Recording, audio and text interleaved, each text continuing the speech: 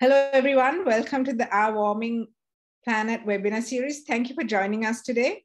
Let's give everyone a couple of minutes to join and then we can get started. Thank you.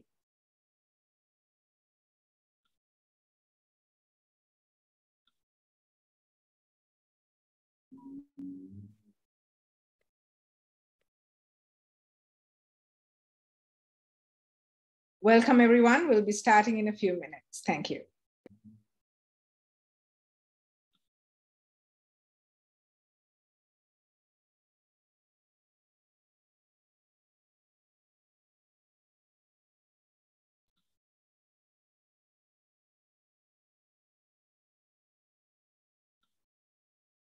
Thank you, everyone, for joining the Our Warming Planet Climate Change Impacts and Adaptation webinar series.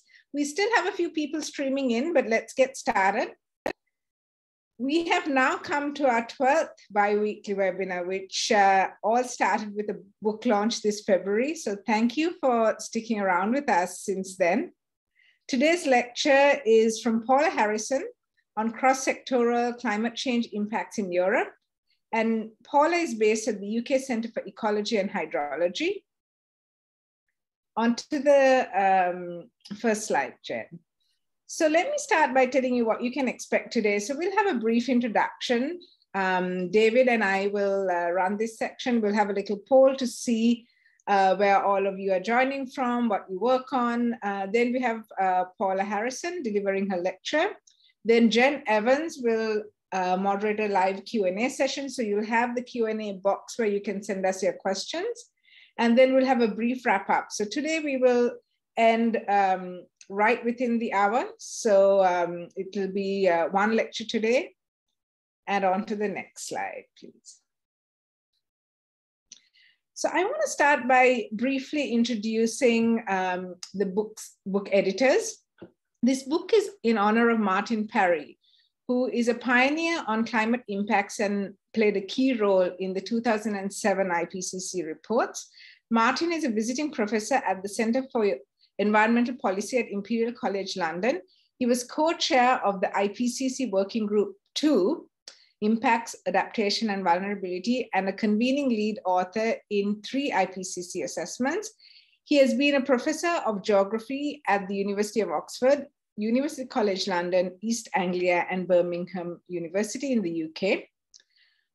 Cynthia Rosenzweig is a senior research scientist at Columbia University's Center for Climate Systems Research and at the NASA Goddard Institute for Space Studies, where she leads the Climate Impacts Group.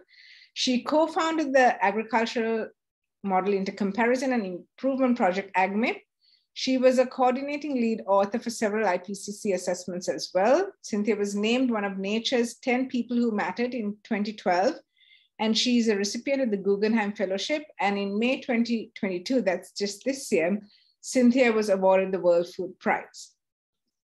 And on to the next slide, please. David Rind is the series editor. So David's been involved in all of the uh, Our Warming Planet books. David is a senior NASA research emeritus at the Goddard Institute for Space Studies. And for more than 30 years, he was a climate research scientist for NASA, as well as an adjunct professor at Columbia University teaching graduate level courses in climate dynamics and atmospheric dynamics. He has more than 300 publications related to climate and climate change, is a fellow of the American Geophysical Union, and is a recipient of many awards, including co-recipient of the 2007 Nobel Peace Prize as a lead author on IPCC. That was the IPCC assessment both Cynthia and Martin were uh, involved in as well. On to the next slide, please. Actually, we'll leave this slide. Uh, and David, uh, over to you to talk a little bit about the series and then uh, also to introduce uh, some of the topics of the current book. Yes, so as you can see, uh, there are three books shown on this slide, and these web, this webinar series is associated with the middle book, Our Warming Planet, Climate Change Impacts and Adaptation. Uh, as you probably understand by now, for those who've been here previously, these books are not the typical textbooks. What they include are approximately 20 to 25 topics on the particular subject at hand. The, each topic is covered with about five pages of text, and then there are 20 slides.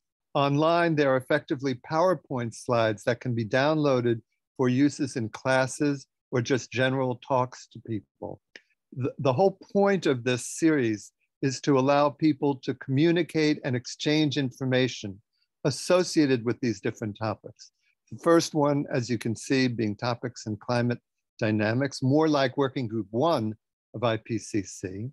The second one, obviously, the one we're discussing now on impacts and adaptation, which is like working group two. And the forthcoming book, which will be out in October, just a month from now, studies of cloud convection and precipitation associated with satellite observations.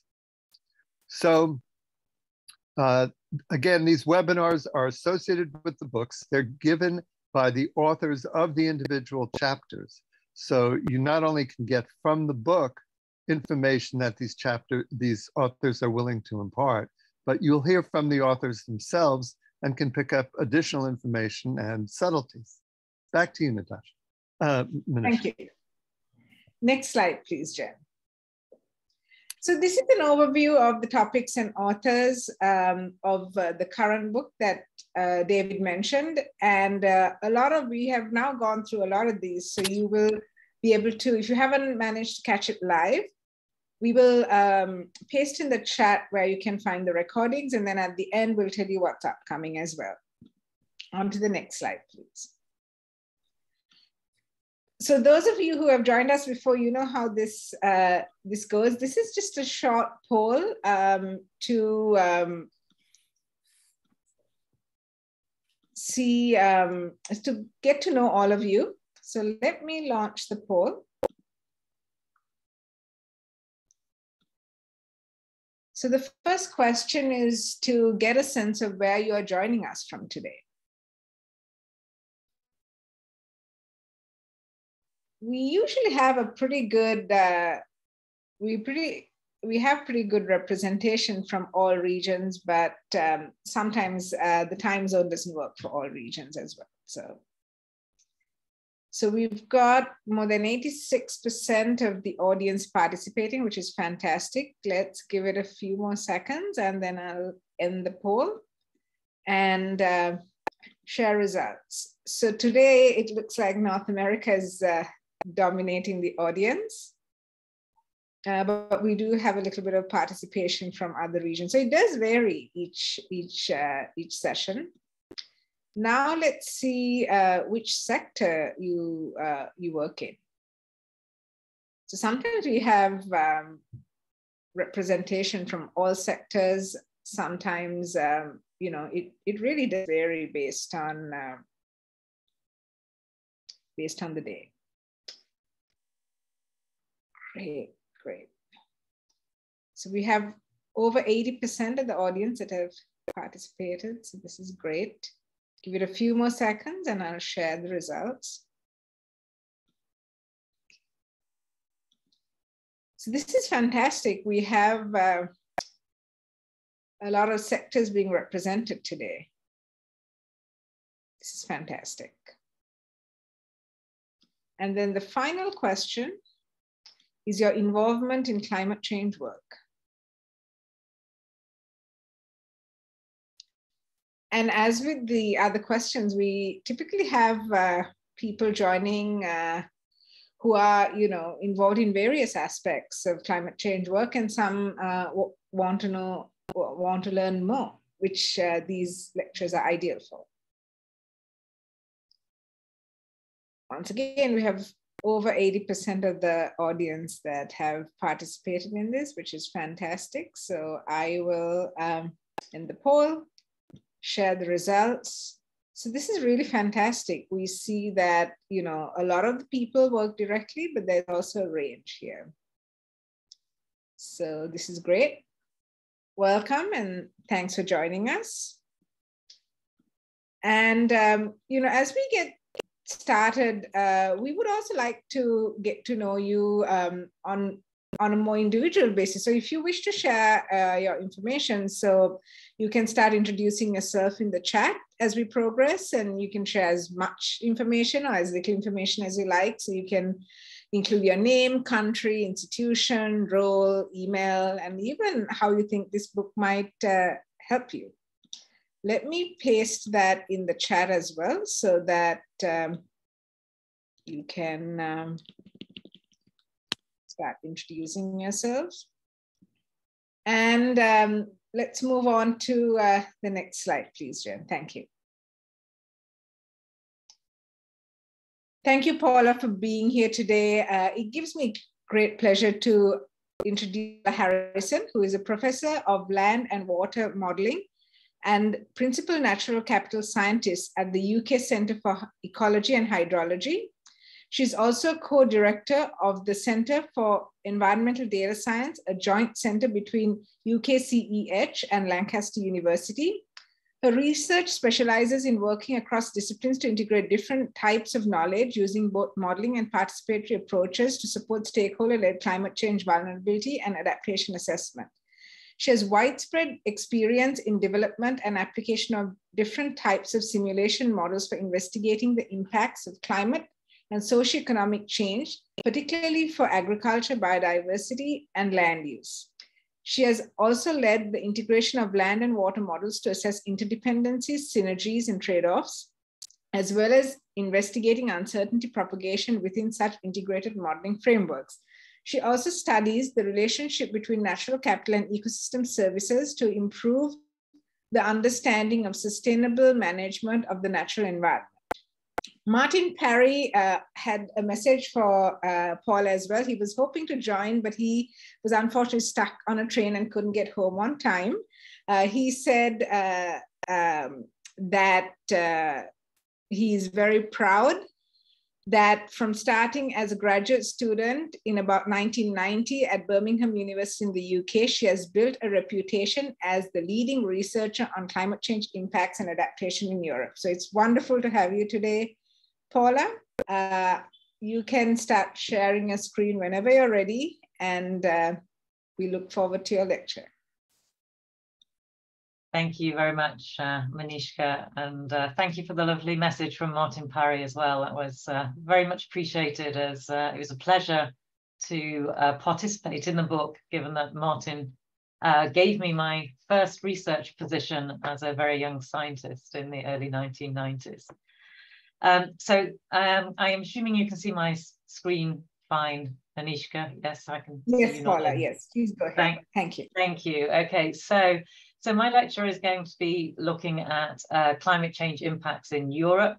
Um, and I'm going to be doing this particularly through a cross-sectoral lens, so focusing on what are some of the interactions and interdependencies between different sectors as they're affected by climate change. So I just want to start by uh, just providing a little bit of background to the topic, and some of you will be very familiar with this background. Um, so as, as many of you might know, changes in climate are likely to have widespread environmental and socioeconomic impacts, and those impacts are likely to be greater when they're associated with uh, higher levels of warming. Um, and the Paris Agreement uh, that states that climate change should be limited to well below two degrees above pre-industrial levels, and that countries should strive to limit that increase in temperatures to 1.5 degrees. However, as many of you will be aware, current greenhouse gas emission trends suggest that limiting warming to the two degrees target might be difficult to achieve, and whilst we now have 129 countries that have made net zero pledges of emissions reductions, only 59 of those countries have actually enacted those pledges in law or in policy.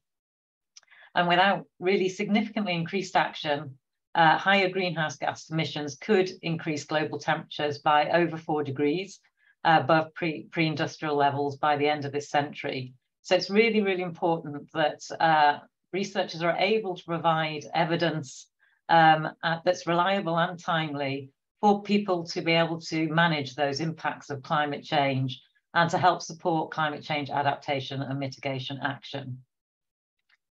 So my presentation focuses on Europe, and, and Europe is a very diverse continent.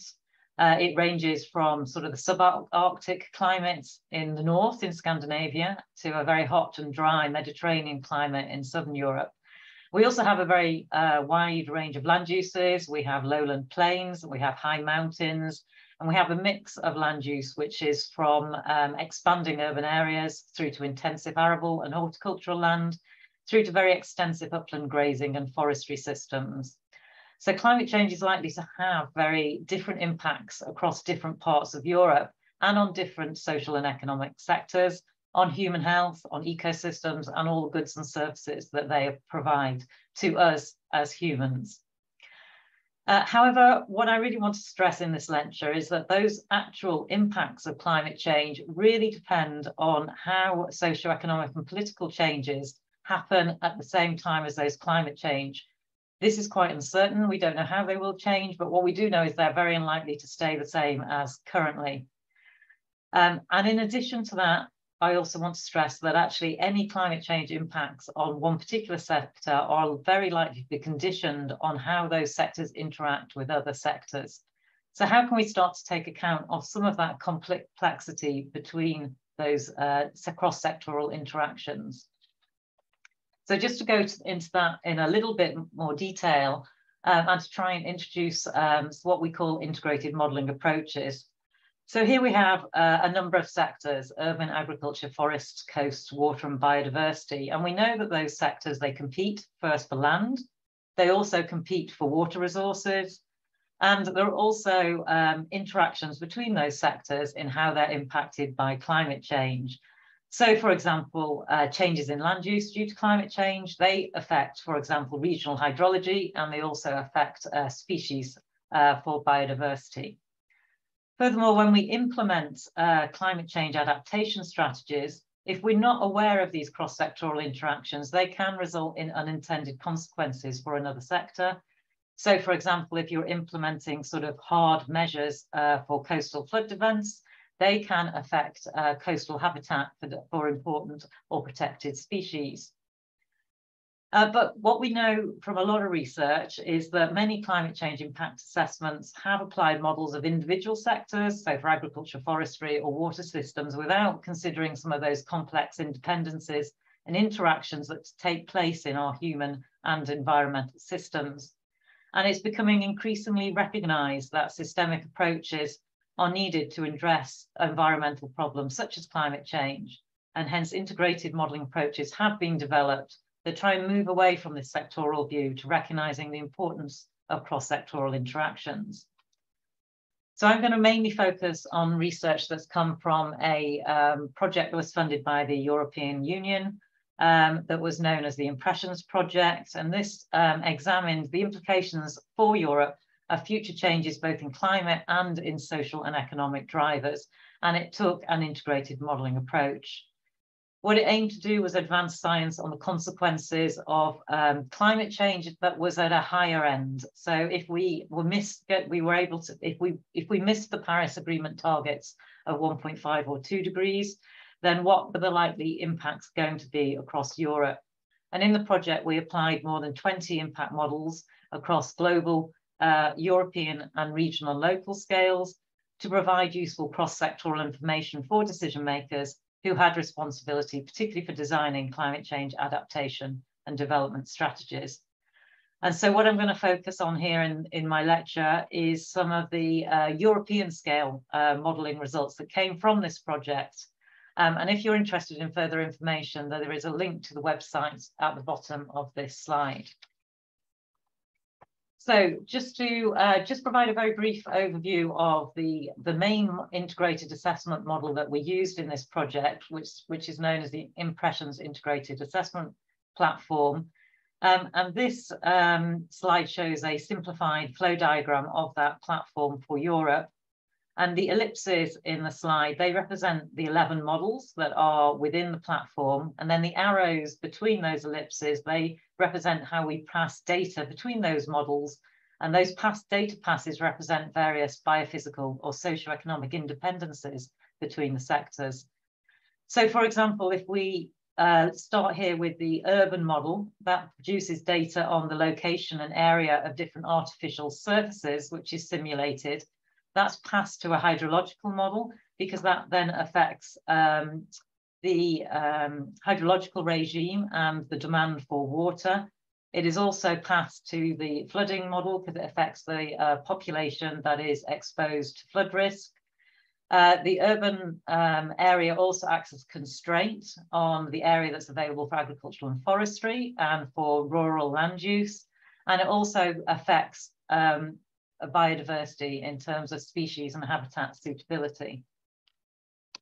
So this slide here just tries to show um, in a very broad overview uh, how the importance of capturing some of those cross-sectoral linkages and independencies within the Impressions integrated uh, assessment platform and how this gives a more comprehensive understanding of the implications of climate change and socioeconomic change for Europe.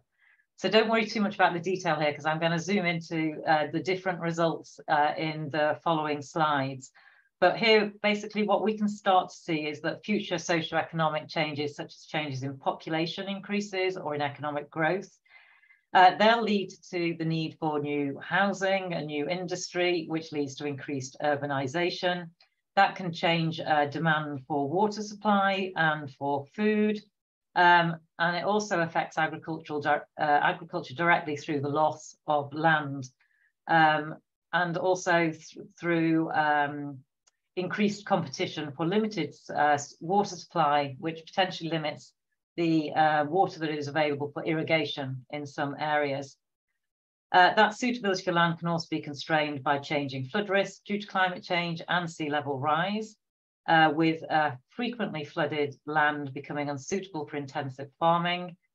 Uh, and we also see that changes in agricultural land use um, across Europe can then um, affect uh, different land uses such as forest areas um, and ultimately different habitats um, and that affects then the, the suitability of those habitats for species.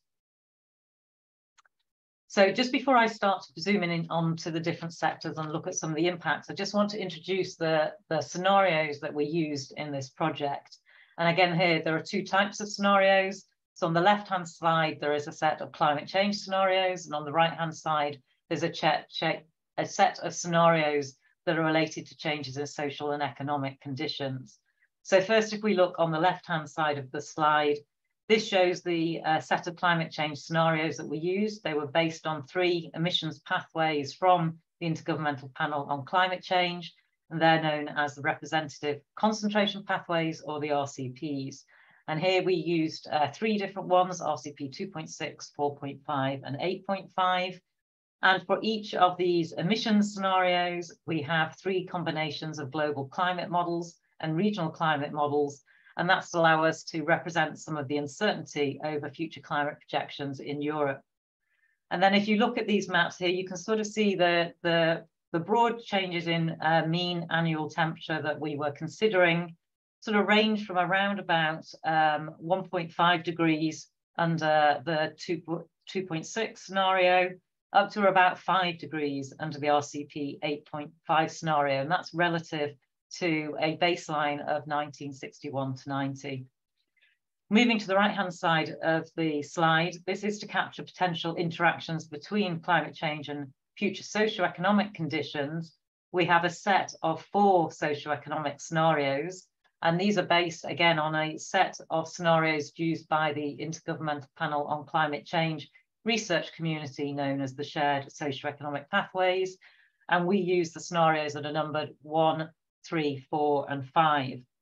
And these SSPs, uh, they describe alternative tra trajectories of future socioeconomic development, and they focus on uh, challenges to climate change mitigation and adaptation. So just running through these quickly in a sort of clockwise manner from the top left, SSP1 here, this represents a sustainable and cooperative society with a low carbon economy and a high capacity to adapt to climate change.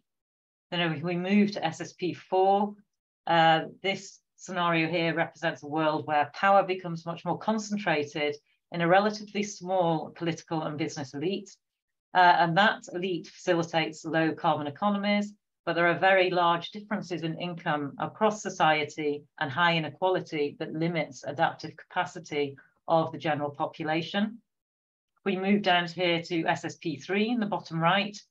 This is a highly dy dystopian future where the world becomes increasingly fragmented uh, with very uh, poor um, economic conditions and a lot of regional conflicts, leading to dis disintegration of social fabric and many countries that are struggling to maintain living standards. And then finally, moving over to the left bottom here on SSP5, this is a very technologically advanced world with a very strong economy, but it's uh, very heavily dependent on fossil fuels um, so it has very high, associated with high climate change, but with a population that has a high capacity to adapt. Uh, what those scenarios sit within this integrated assessment platform, um, and the platform has an interface where um, the user can run the different climate and socio-economic scenarios uh, to explore their own um, cross-sectoral impacts for Europe so basically the user can uh, select a time slice here at the top, which is either 2020s, 2050s or 2080s. They can um, uh, select their emissions scenario. So as I've just introduced, that's RCP 2.6, 4.5 or 8.5. Then they can select their climate model and their socioeconomic scenario. Um, and then uh, you can also manipulate your socioeconomic scenarios using the different sliders behind here. So actually, if you believe that uh, behavioral changes in terms of either water savings or dietary preferences, you might want to explore something that was different. You can change those um, assumptions behind those scenarios. The color coding in green is showing that that is sort of within the uncertainty range of the socioeconomic scenario, but the user can actually move into the yellow range, which can be used to create your own socioeconomic scenarios uh, which you then can uh, run the model um, and use it to um, explore different maps of outcomes uh, for over 90 different sectoral and ecosystem-based output indicators. Uh, and I'm just going to, in the next uh, few slides, just take you through some of the outputs that come from this modeling platform run under these different combined climate and socioeconomic scenarios. So this first um, slide uh, looks at urban development under the four uh, socioeconomic scenarios, the SSPs.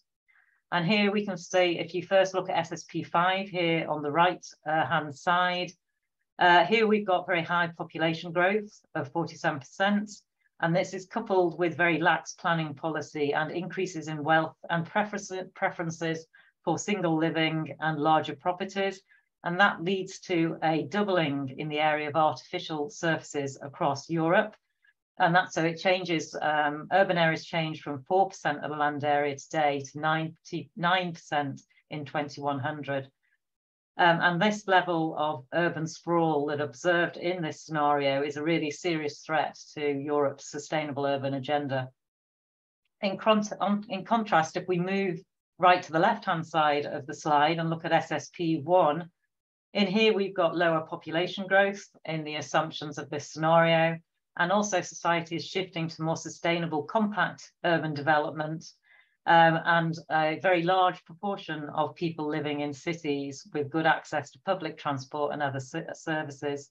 And here, artificial surfaces are uh, simulated to remain at their current levels of 4% in, um, in, in, across Europe. Uh, the other two scenarios, SS3 3 and SSP4, they uh, feature quite high, both of them feature quite high levels of inequality, uh, weak spatial planning and governance, um, and quite low levels of environmental or social awareness. And that poor urban planning leads to the emergence of sort of more like urban ghettos with social challenges, including unemployment, crime, and segregation. Um, and they result in a low coping capacity um, and a high vulnerability to climate change. Um, and we have policy briefs on the Impressions website, and the links are at the bottom of the slide. Again, if anyone wants more further uh, information on all of the slides, I'm just about to show you. So if we move on and look at flood damage, so flood damage is highly dependent also on socioeconomic factors such as population and urban development as well as climate change. So again, here I'm just showing SSP1, which was combined with um, a climate change scenario based on RCP 4.5, which is sort of a mid-level climate change, and SSP 5 combined with higher climate change under RCP 8.5. So here again, on the right-hand side under SSP 5, we see the, the extensive urban sprawl I showed in previous slide that creates very large areas that are vulnerable to flooding. And because this scenario is also combined with higher levels of climate change, together these result in estimated damages from a one in 100 year flood event growing from $78 million today to 1,800 uh, billion in the 2080s. And that affects an means an extra 15 million people in Europe are affected by flooding. Whereas if you look at the more sustainable SSP1 scenario, where we have a compact urban development and slightly lower climate change, again, we still get increases in flood damage, but they're restricted to um, around 490 million um, euros. Uh, moving to uh, look at the agricultural sector, here again, climate change is projected to vary dramatically across Europe. Um, and often we see in from many of the climate models that Southern Europe becomes hotter and drier and Northern Europe becomes warmer and wetter. And that tends to lead to increased drought severity, water scarcity, and heat stress um, in some of the Mediterranean parts of, of um, Northern Europe, which can lead to crop stress and failure. And that heat stress is uh, particularly likely to increase for livestock and poultry, reducing milk yields, egg production, and weight, and weight gain. Whereas in Northern Europe, again, by contrast, we might see um, that agricultural production is increased, it's boosted by the warmer temperatures, has a longer growing season, and potentially also by a CO2 fertilization effect. But that often depends on appropriate adaptation being implemented. Uh, so as a result of those kinds of changes, we see that agricultural systems are expected to shift northwards. So on this slide, this shows um, the change in intensive arable land, uh, and here we can sort of see that arable farming tends to increasingly concentrate in the northeast of um, Europe, whilst the intensive livestock farming moves more to the northwest. Um, and the, uh, the effects on agriculture are strongly influenced again also by socioeconomic factors. So if we look again at the SSP1 scenario, which is more sustainability, focused, this scenario has reduced food imports and less use of agrochemical imports, which means that it's, it's difficult for yields to increase and they're actually assumed to slightly decrease. Uh, so combined with the climate change, changes in climate, this leads to arable land expanding slightly compared to today. And this is at the expense of sort of some of the unmanaged land or some of the forests. Whereas in SSP5 um, scenario, this is much more resource intensive um, and has much more higher um, inputs, artificial inputs applied to the land. And here we can see the potential crop inputs are assumed to significantly increase due to technological improvements. But also there are very significant increases in food imports in this scenario. And because of those increases in food imports, uh, the area needed for arable crops within Europe shrinks quite significantly compared to the baseline but that is mainly because, again, Europe is offsetting its food import in footprint to other parts of the world in that scenario. So those changes in agriculture will indirectly also affect water stress uh, due to different demands for irrigation for growing crops. Uh, and again, that varies under the different climate and socioeconomic scenarios. So under the more environmentally focused uh, scenario of SSP1 here, We've also got efficient water use technologies and water saving behavior by the population, which also reduces pressure on water resources. Um, and also society has a much be better um, ability to cope with water stress and hence vulnerability to water stress is reduced uh, relative to SSP5, which is a resource intensive scenario where adapting to climate change is much more challenging when we start to see really severe vulnerability to water scarcity. Uh, and then it starts to extend across much of Europe, and particularly uh, severe water stress is anywhere that is orange or uh, red in the slide, which is particularly over much of Europe in the um, map on the right-hand side. So how might that then affect biodiversity? Um, so a warming climate will force uh, many species to shift northwards or to higher altitudes or to stay and adapt to new conditions, or perhaps even just become extinct. And survival for many of those organ organisms will depend on how they can disperse, uh, the suitability of other available habitats and the presence of uh, connected, ha connected habitat networks that enable that migration. So in the Impressions project, we modeled the availability of suitable climate space for 111 species. These were a combination of different plants, birds, insects, mammals, and amphibians. Uh, and we selected them to represent different habitats, so farmland, grassland, forest, wetlands, and heathlands, um, as well as different Mediterranean alpine regions. Uh, and what we can see that these impacts vary really strongly across Europe. In Southern Europe, the hotter and drier conditions, which are associated with higher level of climate change, they can lead to ma really major habitat transformations and severe impacts on biodiversity. So in Northern Europe, we also see that some species, they, they may be able to adapt or gain access to new areas, but that also really depends often on um, some adaptation plans and some management uh, being uh, put in place to help those species to move.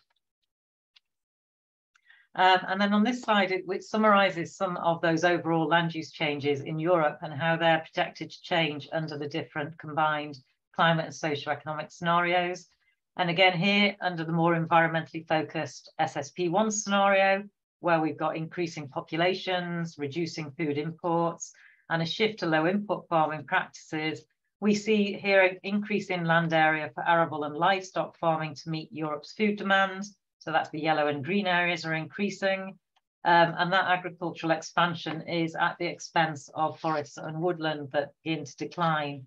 Whereas in contrast, under the SSP5 scenario here, the promotion of really intensive, high yielding technolo technology driven farming means that more food can be produced from a smaller land area uh, so we see again the area of intensive and extensive farming declines, and that free ups land then that can be dedicated to um, to manage an unmanaged forest. But again, as I mentioned before, it's really important to know that that relies on greater food imports, dis potentially displacing greenhouse gas emissions and possible habitat degradation to other parts of the world. Uh, so again, just want to summarize in this slide, what are some of the benefits of this integrated modeling approach rather than actually modeling each of those sectors independently. Uh, and this is summarized in this slide where we've quantified uh, the differences between running the 11 models that sit within the Impressions Integrated Assessment platform independently or combined within the platform under a very wide range of scenarios. And what you can see here is that we see significant differences in the magnitude of change. So that's the coloring. So anything that's colored uh, green, light green or dark green shows that there is a difference of more than 50% in the simulated magnitude of change in some of those output indicators. Um, and there are also cases where we actually get to predict a different direction of change uh, if we are using uh, single sector models rather than an integrated model and those are shown by those the uh, double-headed arrows. And again, this really depends um, on how different output indicators are related to others. Uh, so for example, you can see for the urban area, there's no difference here because we are assuming in the model that um, urban, urban development takes precedence over any other sector. So it isn't affected by interactions from the other sectors whereas those related more to agriculture and biodiversity are very highly affected by competition for land and for water and by those cross-sectoral interactions. So just in the final part, I just want to very quickly show an example of how we've used um, this modelling approach to look at adaptation strategies. Um, and again, here we, I'm just going to show an example where we've looked at a range of um, adaptation strategies that have different aims. So they might focus on self-sufficiency or on behavioral change. And this slide again is showing just some examples where they might focus on options related to trade, such as reducing imports to become more self-sufficient in food, technological change, such as improving water use efficiency or irrigation efficiency, behavioral changes, such as dietary change, or policy changes, such as through agri-environment schemes or protected areas. So ultimately can be very difficult to devise adaptation strategies that might have no unintended consequences or trade-offs. But again, using this integrated modelling approach, you can start to reveal some of the types of trade-offs that can occur under different strategies and to highlight some of those political and societal choices that are going to be needed to either deal with or minimize some of those trade-offs. So in this slide here, we've got uh, the different adaptation strategies um, and we're showing um, in the different boxes in the slide. Um, and what we show here is um, we've got um, two columns for climate change scenarios here, one extreme and one moderate. And we've got two socioeconomic scenarios along this row here, one more utopian and sustainable and one more dystopian and sort of fragmented and high intensive use scenario. Um, and if you look, really just focus on sort of the orange and the green colors in the slide, you can see, for example, that strategies that focus on improving food self-sufficiency, uh, they lead to positive changes in food production, obviously. Here in this first column here, we've got the green arrow, but again, they, they can lead to quite negative changes uh, for water resources, for timber production, um, and for atmospheric regulation through carbon sequestration. Alternatively, adaptation strategies that base on either maximizing timber or nature, again, they may lead to sort of more negative impacts on producing foods that need to be dealt with, but more positive effects on other ecosystem services, such as your land experience and recreation, the diversity of the land, um, and for forest and uh, nature conservation. So just to conclude, um, what, what we try to show with this work, again, is that uh, to provide sort of reliable science-based information uh, to decision makers uh, on climate change impacts, it's really important to um, recognize that both socioeconomic and political changes will continue and they might interact with climate change in potentially complex ways. Um, and that though, but also those changes are likely to lead to amplified interdependencies between different land and water-based sectors. Uh, so we're really thinking that integrated modelling and scenario studies build some understanding of those interdependencies between the sectors and allow us to explore some of the responses that might be more robust to uncertain futures across the different sectors.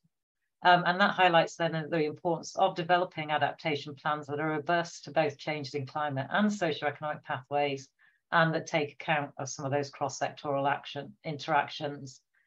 And then just with my final slide, I just want to sort of say that um, in the case of Europe, we found that climate change impacts vary uh, greatly across Europe. We have some regions that benefit um, and some that where we see very detrimental effects.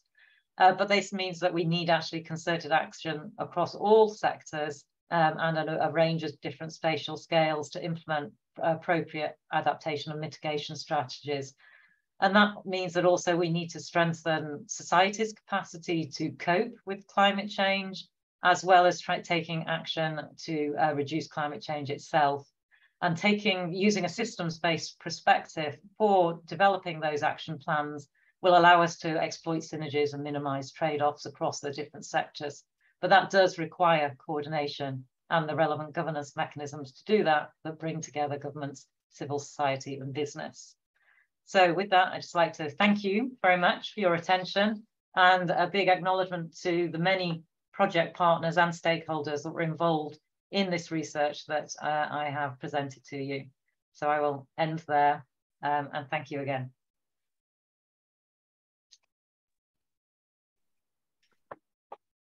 Thank you so much, Paula, for that fantastic lecture. This seems to be very advanced integrated modeling. And uh, I think, you know, based on what you showed us, including sort of the analysis you did on trade-offs and everything, it looks uh, very useful for adaptation planning and strategies. So definitely uh, a lot I think we can all learn from this approach. Thank you. Um, Next, uh, it's over to Jen Evans, who's a graduate research assistant at the Center for Climate Systems Research. Uh, Jen will moderate the Q&A session. Over to you, Jen.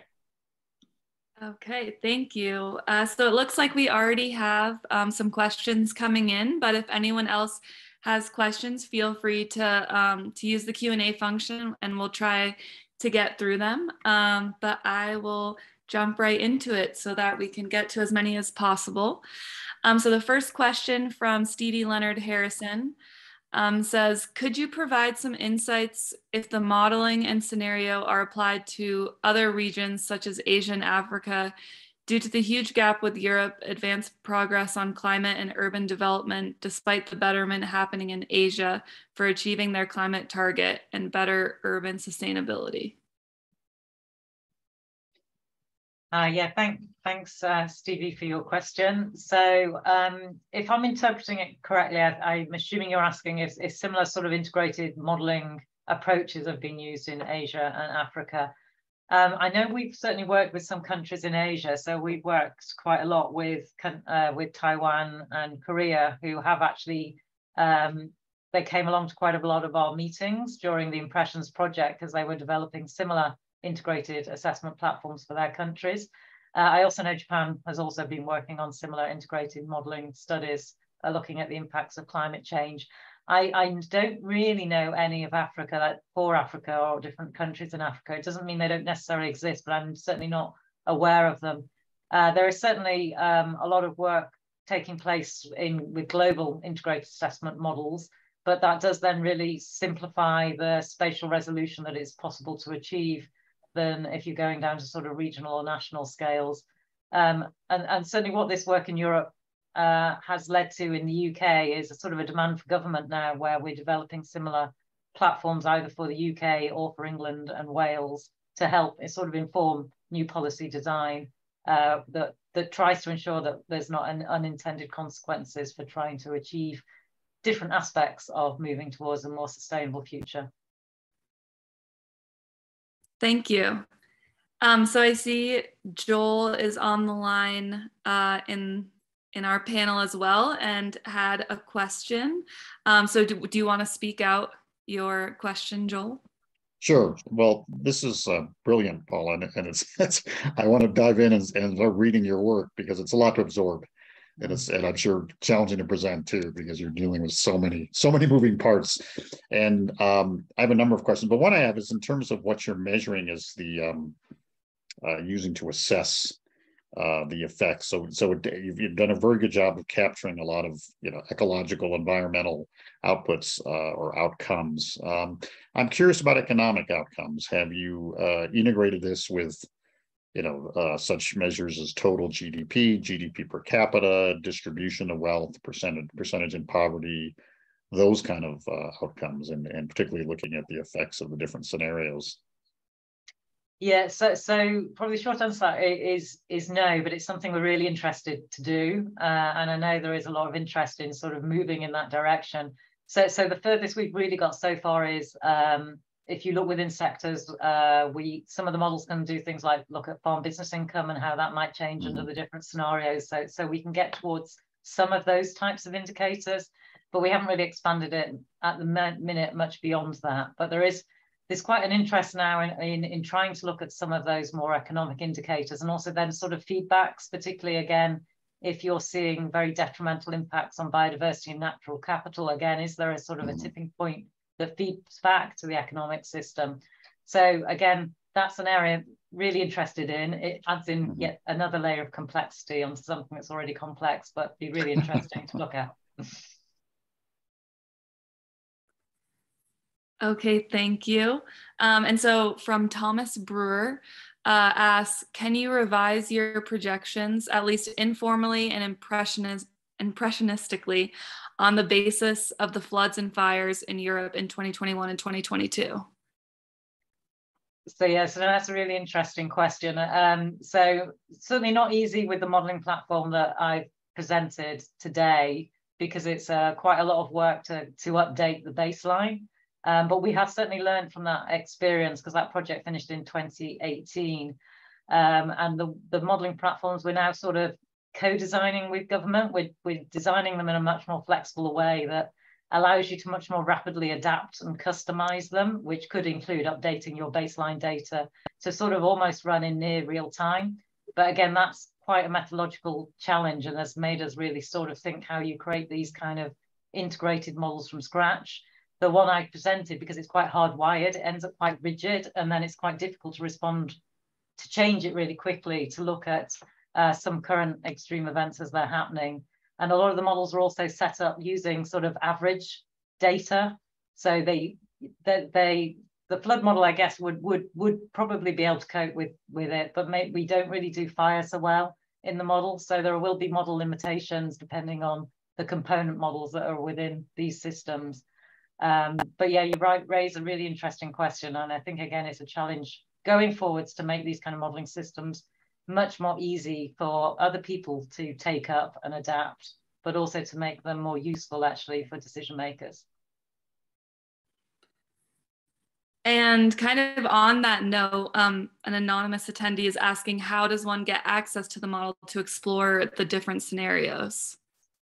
Yeah, so that's a great question. And uh, yeah, so that, that's a bit difficult at the minute because it is, it, the, the platform is open access through the interface. You, you won't be able to get to the code, but you can run it. But the problem is we're in the process of updating the interface because it was built to run on Internet Explorer. So if you happen to have, still have or can access Internet Explorer as your browser system, then there is a link to the model interface on the Impressions project website. Um, and anyone can go and uh, run the model. Um, if you don't or can't somehow manage to get a version of Internet Explorer, we are we just currently have managed to find the funding to create a new interface, but that will just take us a few months to get that up and running. And as soon as it is, we will update the link on the Impressions Project website.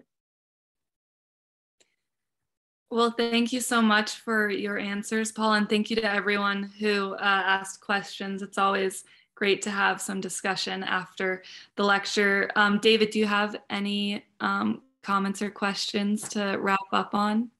Uh, yes, Jen, thanks for this wonderful all-inclusive discussion as the modeling is almost all-inclusive. So I guess the question I have, is there a population growth or demographics component to the model? Uh, I also noticed the assumption that, or an assumption that can be made, that agriculture will be preferenced when water availability is reduced. I think we're seeing in the Western US that population areas and their growth get, get favored as opposed to some of the agricultural locations, say in California. Yeah, so, so population um, is an input as part of the socioeconomic scenario. So then it's used in the sort of the urban model to sort of calculate demand for sort of housing and industry. It's using the water model to calculate water demand. Um, and the sort of the water resources model also, as part of the scenario, you can define um, allocation. So you can have a an order of preference whether you your population goes to um, domestic um, industry, energy, uh, irrigation, and that can be again changed as part of the scenario parameters. So you can start to explore different um, ways of allocating water and what that actually means for land use. Yeah, it, it might be interesting at some point down the line to uh, try to estimate based on the impacts in these different sectors that the model is showing, to make population growth or demographics interactive with that. If there are going to be a lot of fires and heat in, in a region, the population assumption for that region may need to be altered.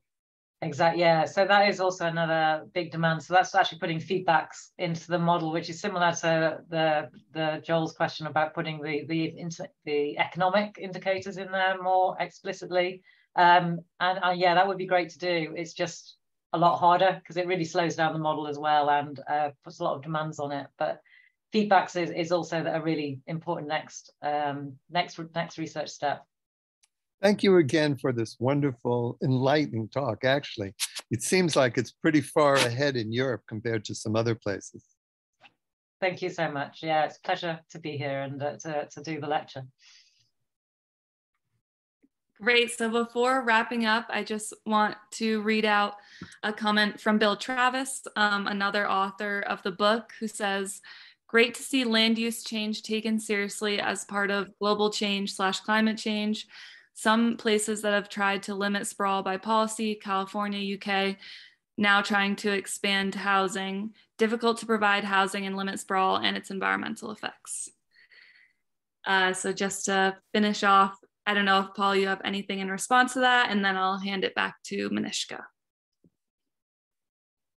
Um, well, no, just thank thank you, Bill, for supporting that. And land, land use change has become a real big issue in the UK now because it's now seen almost as the centre of almost all sort of agricultural, environmental, climate policy. All has to deal with the way we use land in the UK has to change because the current system is not sustainable in the long term. And it's great that that's actually being recognised. Thank you so much, uh, Paula. That was uh, a great talk and uh, a very interactive Q&A session. Uh, wonderful to have you today, Paula.